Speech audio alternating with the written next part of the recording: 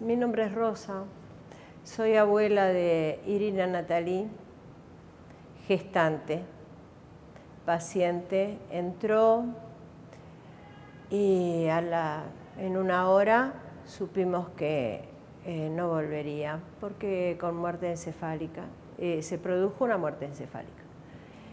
El tema del trasplante de órganos eh, lo decidió ella y creo que es excelente que lo haya decidido así.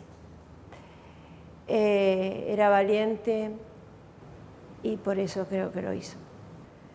tuvimos contención en cuanto al tema de donar los órganos de ella. Agradecimiento a todo el equipo de salud del hospital. Agradecimiento la procuración de órganos.